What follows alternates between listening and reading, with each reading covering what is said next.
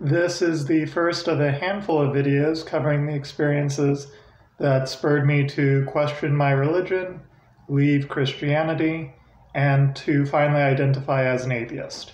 I'm hoping that reviewing my experiences will help me to refine my thinking and create a record that I can look at later. I also want to create this video for family and friends who find out that I'm an atheist but don't understand why I identify as an atheist or the experiences that led me to atheism. In person conversations have been occasionally frustrating, so I'm using a video as a way to record and communicate the personal experiences and thought processes that led to my atheism. If I've linked you to this video, I hope that this will provide you an explanation for why I identify as an atheist. With that out of the way, let me start at the beginning.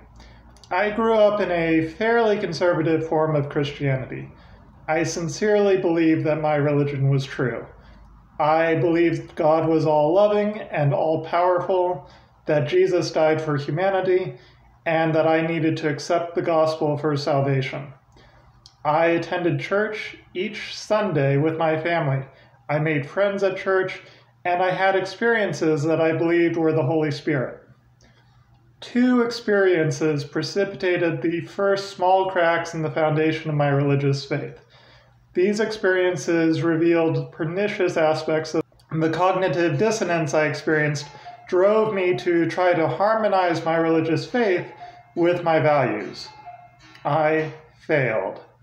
Instead, my efforts forced me to completely deconstruct my religious beliefs and my faith. The first crack in my religious beliefs started in high school. It started small, just a nagging, ill defined sense that my religious beliefs didn't quite fit together. I believed that my religion was the one true faith. I believed that spiritual salvation came through Jesus Christ and that a person to be saved needed to accept and believe in Jesus Christ. But I also knew people personally who were not Christians, were not interested in becoming Christians, and who held sincere religious beliefs of their own. They did not believe in Jesus Christ, and therefore, according to the religious, to my own religious, they did not believe in Jesus Christ, and therefore, according to my own religious beliefs, they would not be saved. This bothered me. It seemed inherently unfair. I never fully resolved this. Instead, I, I rationalized it away. God must have a plan. He works in mysterious ways, I reasoned. He was all knowing. If I, as a fallible human being, couldn't find a logically consistent way to reconcile my belief in salvation with the other faith systems out there, I thought that God could. Even in high school, this seems like a cop out, but it worked on a superficial level to address the cognitive dissonance. And I actively pushed the issue out of my mind. I papered over the crack in my religious beliefs and did my best to ignore it. And yet, a few times a year, I'd briefly think, I know non Christians who believe as sincerely as I do. What basis do I have to say that those beliefs are wrong and that my beliefs are right? The second crack in my religious beliefs started in my first year in college. It arose from a conversation that caused me to reevaluate the intersection of my beliefs and my morality. I had a friend in college, I'll call him Bob. Bob and I met at church. We were both freshmen at college and even had a few classes together. Occasionally, we'd study together or just chat after the class about the main takeaways from the lecture. One day, after a political science class, we were talking about our general thoughts on the lecture. In the course of the conversation, Bob justified the use of torture by the US against enemy combatants. This shocked me. I'm not sure that torture can ever be justified. It's dehumanizing, disproportionate to any crime, and inherently a cruel and inhumane punishment.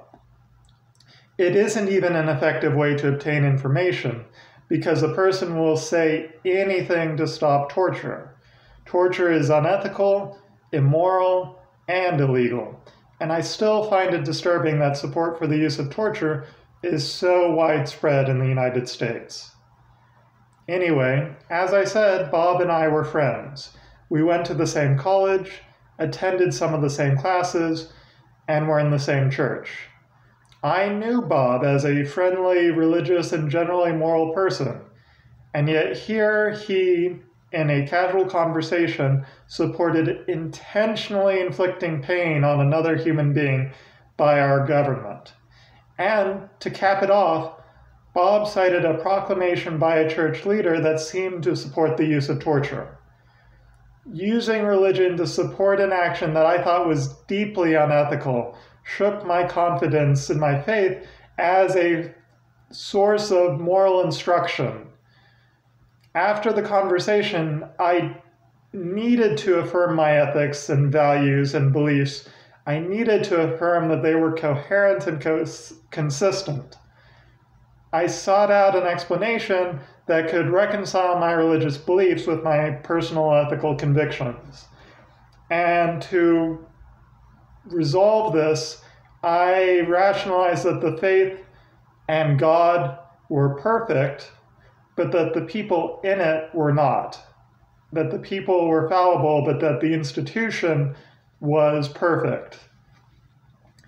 If I had been able to entrench this rationalization firmly in my worldview, I may have learned to balance my religious faith with my ethical convictions. But at this critical moment, I found a poll that undercut my rationalization.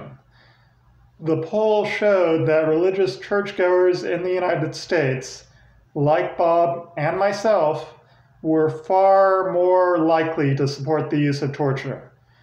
I've linked a Pew Forum survey in the description below, which shows similar findings. This wasn't, I found, just a person being imperfect. Religion or religious belief in some way or form was teaching people to justify the use of torture against our fellow human beings.